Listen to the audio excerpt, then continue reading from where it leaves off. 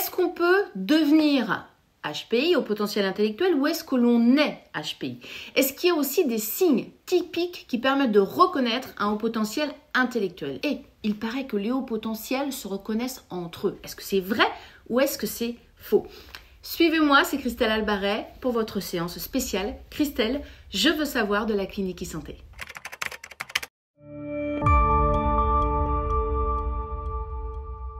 Dans cette vidéo, je vous dis tout, tout, tout, tout sur les hauts potentiels intellectuels, qu'on appelle aussi les HPI.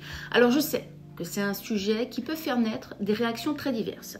Ça va du rejet à toute forme de HP pour certains, et pour d'autres, c'est euh, la passion vers toutes les personnes qui sont un peu atypiques dans ce domaine. Oui, je sais que pour certains, on peut être agacé quand on entend pour la xème fois autour de soi, mais non, mon enfant, euh, il est HP, c'est pour ça qu'il a un peu de mal avec les règles, euh, qu'il est, c'est pas qu'il est mal élevé, mais c'est qu'il s'ennuie, il veut attirer l'attention.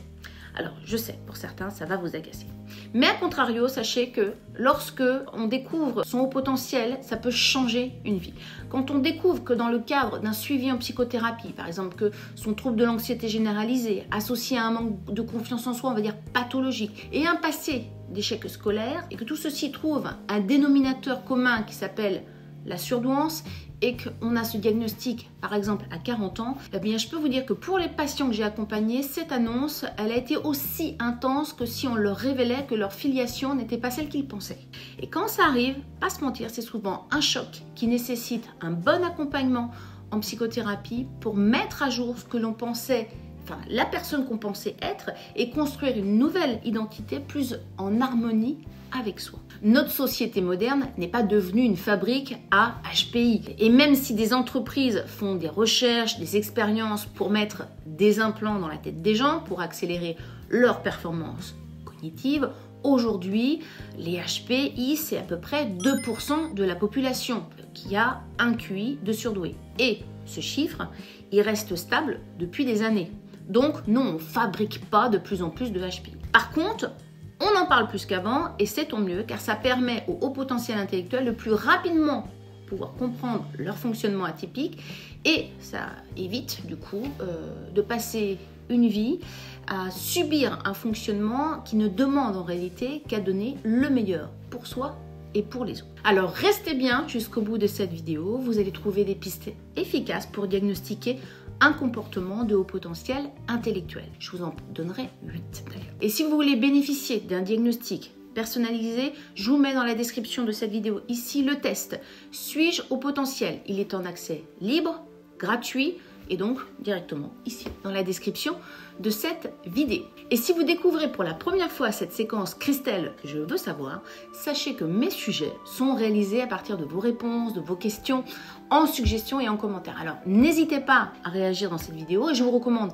dès à présent de vous abonner, d'activer la cloche, ça aussi c'est utile parce que c'est ce qui vous permettra d'être au courant lorsqu'un nouveau sujet arrive. Vous êtes très nombreux à me suivre et c'est en vous abonnant que vous pouvez vous assurer d'accéder à des sujets qui sont toujours au plus proche de vos attentes.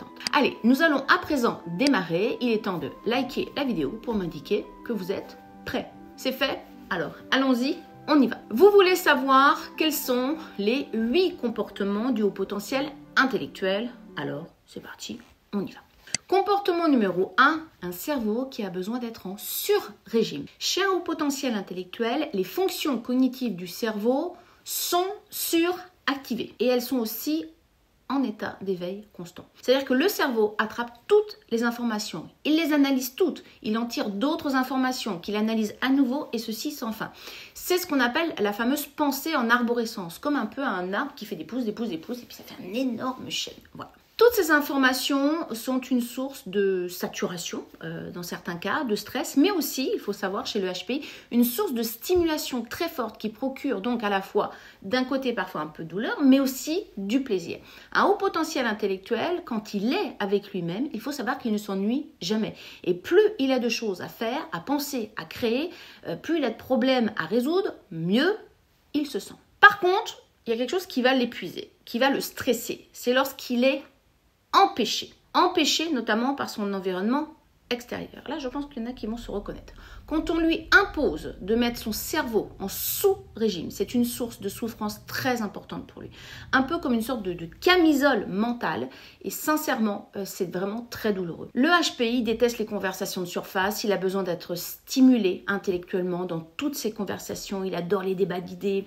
C'est une réelle récréation pour lui et pour son cerveau quand euh, il doit être créatif et complexe à la fois. Alors quand on l'empêche, eh bien c'est véritablement une grosse souffrance. Est-ce que vous aussi, vous avez besoin que votre cerveau soit en sur-régime? Est-ce que vous avez l'impression que c'est comme ça que vous vous sentez bien? Et puis, euh, comment euh, vous vous sentez quand vous vous sentez empêché d'aller à votre rythme? Dites-le moi en commentaire. J'ai hâte de, de lire euh, ce que vous allez écrire.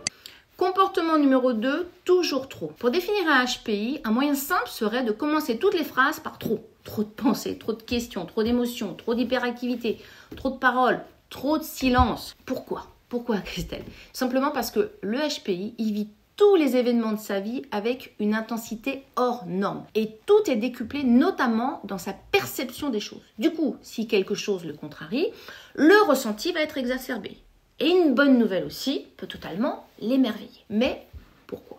Tout simplement parce que le haut potentiel intellectuel, il a des capteurs neuronaux hypersensibles. Il capte les informations de son environnement de façon extrêmement subtile. Certains vont être ultra sensibles à la lumière, au bruit, aux odeurs, d'autres vont être ultra sensibles aux autres, aux émotions. Ils ressentent par exemple ce que les autres ressentent, d'accord Mais comme des éponges. Et vous, du coup, dites-moi, c'est quoi qui est le plus stimulé chez vous? Votre mental, vos émotions, votre sensorialité? Dites-le moi en commentaire. Comportement numéro 3.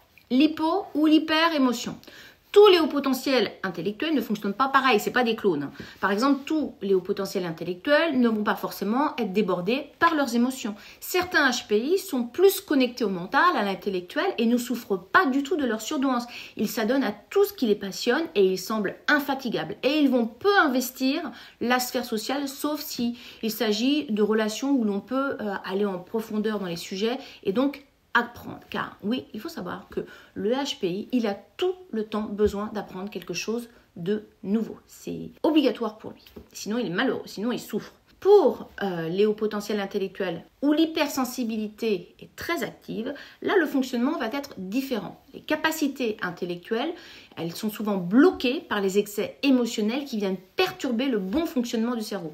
Un HPI hypersensible aura tendance à être anxieux, à stresser plus facilement et surtout, il doute beaucoup de lui et il peut passer des années à se chercher avant de se trouver. C'est souvent d'ailleurs au détour d'une consultation en thérapie pour des troubles divers, des difficultés de gestion du stress, des troubles du comportement alimentaire, un bilan de compétences, des phobies sociales, des phobies scolaires, que le psychologue détecte une surdouance potentielle qui sera confirmée par un test de QI et un test de QE associé. Je rappelle que j'ai mis dans la description de cette vidéo le lien pour réaliser le test Suis-je au potentiel? Donc il est là, ici. N'hésitez pas à le faire et à partager vos résultats. Ce diagnostic, il a été réalisé par les psychologues de la clinique e-santé pour vous permettre d'avoir un premier niveau de diagnostic fiable. Et donc, il faut savoir qu'il est bien entendu en accès libre et gratuit. Comportement numéro 4 maintenant. Une suradaptation toxique. Qu'est-ce que je veux dire par là? Je vais vous tisser l'éco-environnement idéal pour le bon développement d'un HP. Vous êtes prêts? Alors, le HPI chanceux est donc tombé dans un environnement parfaitement adapté au HP, avec des parents qui maîtrisent parfaitement le sujet, avec des proches qui stimulent son développement, c'est-à-dire avec euh, le bon dosage de la nourriture intellectuelle, sans oublier une bonne dose de créativité quotidienne et bien entendu des limites, des limites claires pour la construction de la sécurité et de l'autonomie. Le HPI chanceux a bien entendu profité d'un système scolaire où l'on peut avancer à son rythme et avec un plein accueil euh, de la singularité qu'il a. Bien entendu. Bref, vous l'aurez compris, j'ai un peu l'impression d'être en train de vous faire une lettre au Père Noël ou à la Mère Noël, je ne sais pas. En réalité, la première chose que va apprendre un haut potentiel intellectuel, c'est à se suradapter. Il va devoir faire des efforts constants pour se sentir appartenir, avoir une place, être accepté ou apprécié. Et pour certains, ça va même aller jusqu'à décider d'endormir directement, de débrancher son cerveau pour éviter qu'il ne gêne les autres. Et lorsque ça arrive, ça va se traduire par des échecs scolaires, des épisodes dépressifs, une désocialisation. Et là, je ne donne que quelques exemples. Là, j'imagine que certains vont se dire Tiens, Christelle, mais euh, elle est complètement en train de parler de moi là. Il faut que je creuse un peu. On pourrait se dire que cela s'arrête à l'âge adulte, ça, et que ça va mieux. C'est que quand on est enfant et que l'on peut reprendre sa liberté. Mais parfois, il n'en est rien. Si on n'a pas un écosystème qui nous permet de nous épanouir, la camisole mentale, elle peut rester un équipement obligatoire de survie. Comment? Bah, Par exemple, euh, au travail, ne pas sortir du cadre, sous peine d'être vu comme quelqu'un qui ne pense pas comme les autres, qui n'est pas gérable, qui est une personnalité difficile, qui refuse de se plier euh, aux règles ou politiquement correctes. Dans la sphère familiale ou amicale, eh bien, ça va être euh, devoir se soumettre, bien comme il faut, à des conversations stériles, des façons de penser étroites qui empêchent toute forme de créativité et de libre arbitre. Cette suradaptation, elle peut devenir toxique. Toxique pour un haut potentiel intellectuel qui va avec le temps finir par s'épuiser mentalement, émotionnellement. Il garde tout pour lui, il ravale ses besoins, il peut même euh, finir par être taxé euh, d'antisocial. Mais c'est juste un mécanisme de défense que le haut potentiel intellectuel a trouvé pour s'offrir un espace de liberté, euh, de penser et d'être et c'est tout sauf un antisocial. Il est temps de partager en commentaire vos expériences euh, de suradaptation. Ça m'intéresse de savoir comment ça vous parle pour vous. Et pour ceux qui ont réussi à dire stop, dites-moi comment vous avez fait. Comment euh, vous vous êtes fait ou pas aider. Il faut savoir qu'au sein de la clinique e-santé, nous avons des psychologues experts en haut potentiel. Et si vous avez envie de ne plus vous suradapter, rejoignez la clinique e-santé. Je vous confier un secret. Elle a largement été pensée par des hauts potentiels. Alors, je pense que vous allez vous sentir comme à la maison. Et ça fait du bien. Comportement numéro 5 maintenant. Les épisodes dépressifs. Il n'est pas rare dans la vie d'un haut potentiel intellectuel que celui-ci soit confronté à des épisodes dépressifs dans sa vie. Certains peuvent être légers, d'autres plus sévères. Et il y a plusieurs raisons à cela. C'est pour moi important d'en parler. La première raison, euh, ce sont les, les conséquences de la suradaptation massive et du refoulement émotionnel. La deuxième raison, c'est l'hyper-émotivité. Comme le HPI ressent tout de façon exacerbée, le positif, le très positif, le négatif, le très négatif, il prend l'ascenseur émotionnel très souvent et euh, il a même un accès VIP hein, à cet ascenseur émotionnel. Et quand il a une épreuve de vie, celle-ci, elle est ressentie avec une intensité hors norme. Une trahison, une injustice vont être ressenties avec une échelle de stress de très très forte intensité. Et cette bousculade émotionnelle, euh, le stress à répétition, peuvent avec le temps abîmer votre mental et votre corps. Vos neurotransmetteurs qui sont en charge du bon fonctionnement de votre corps et de votre esprit vont, vont s'altérer, vont être pardon, altérés par le stress et c'est ainsi que l'épisode dépressif va s'installer. Comportement numéro 6, la recherche de la compagnie des sages. En tout cas, c'est comme ça que je l'appelle.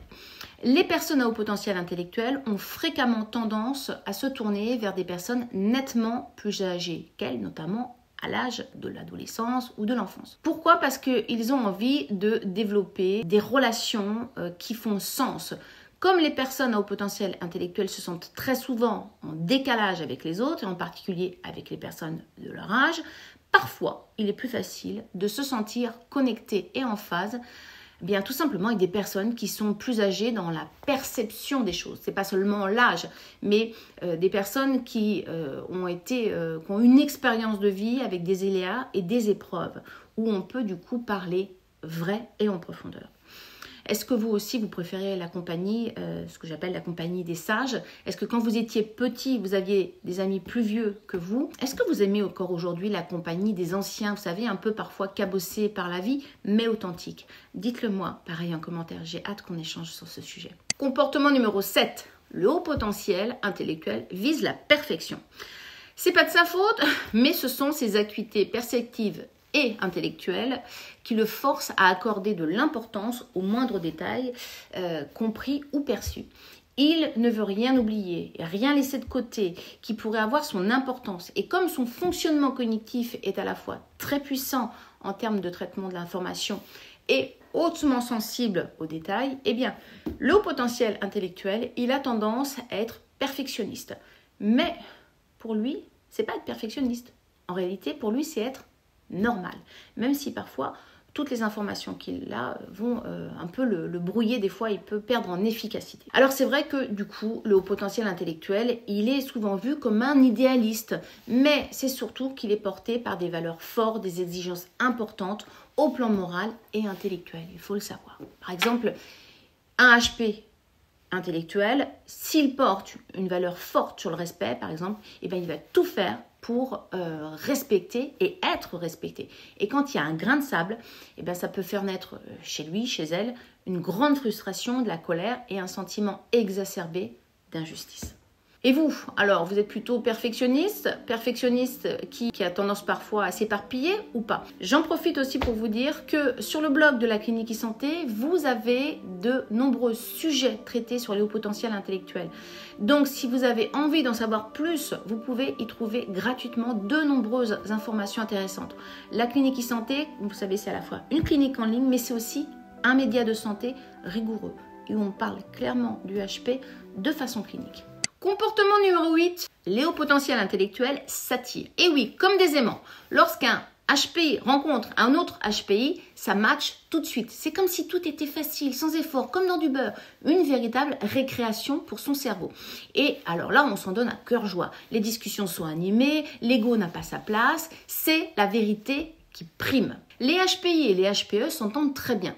Les HPI, par exemple, vont donner euh, des autorisations au potentiel émotionnel pour sortir du syndrome de l'imposteur. Ou les hauts potentiels émotionnels permettent aux HPI de mieux entraîner l'accès positif à leurs émotions. Et tout ceci est possible à partir du moment où une personne HP a compris son fonctionnement, ne souffre plus de sa différence et a réussi la plupart du temps c'est via un accompagnement sur mesure, à révéler tout son plein potentiel.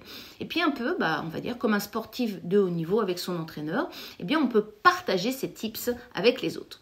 Voilà, j'en profite pour vous rappeler une chose, c'est qu'on peut être à la fois HPI et HP. Hein, il faut savoir, le HPI est diagnostiqué par le calcul du QI et le HPE est diagnostiqué par le calcul du QE. On peut donc être soit l'un, soit l'autre, mais aussi on peut être les deux. Allez, je récapitule les points clés de cette séance. Christelle, je veux savoir. Alors, non, on ne peut pas devenir HPI, c'est une particularité cérébrale avec laquelle on est. par contre, il se peut que vous soyez un HP qui s'ignore. Et le seul moyen de le savoir, c'est en réalisant un bilan psychologique complet avec un psychologue spécialisé en haut potentiel. Encore aujourd'hui, il faut savoir que la grande majorité des diagnostics de surdoués ont lieu après 30 ans. Et c'est bien dommage parce que c'est euh, du temps perdu pour votre potentiel. Oui, il y a des comportements typiques chez les hauts potentiels intellectuels qui permettent de les reconnaître. Vous avez pu en découvrir certains dans cette vidéo. Et il faut savoir que seul un diagnostic réalisé par un psychologue permet de confirmer le diagnostic de haut potentiel on dit diagnostic, mais attention, c'est pas un diagnostic, il euh, n'y a, rien de, de médical, entre guillemets, dans le mot HPI. D'accord? Alors, si vous cherchez des réponses, que vous avez besoin d'aide, les psychologues experts en haut potentiel de la clinique e-santé sont là quand vous voulez. H24 du lundi au vendredi, vous pouvez nous rejoindre en suivant le lien dans la description et démarrer un suivi en quelques minutes seulement.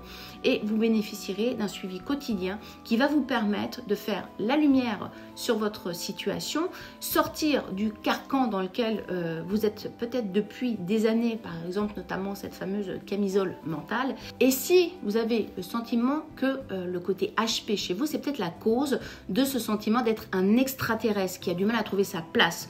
Alors tout simplement, qu'est-ce que vous faites? Vous cliquez sur le lien ici dans la description de cette vidéo, vous faites le test Suis-je HP et vous aurez des résultats fiables. Vous recevrez en plus des conseils avisés en fonction de votre situation. Donc allez-y, en quelques minutes, ce sera fait. Voilà, cette séquence touche à sa fin. On se retrouve très vite pour une nouvelle séquence Christelle, je veux savoir. Et euh, si vous souhaitez que ce soit votre question, votre suggestion qui soit tout simplement sélectionnée pour une prochaine vidéo, n'hésitez pas à vous abonner et n'oubliez pas d'activer la cloche car Bien entendu, euh, c'est le meilleur moyen pour être prévenu du sujet que j'aurai sélectionné en commentaire et donc peut-être le vôtre. Voilà. Et comme vous avez très certainement envie de vérifier qu'il n'y a pas que vous qui appréciez ce sujet sur les HP, qui vous êtes senti concerné et qui avez appris des choses, parce que vous savez qu'on aime apprendre lorsqu'on est HP, eh bien, il suffit tout simplement de me le dire, tout simplement en likant et aussi en partageant cette vidéo. Voilà, je vous embrasse et je vous dis à très vite pour un nouveau Christelle. Je veux savoir.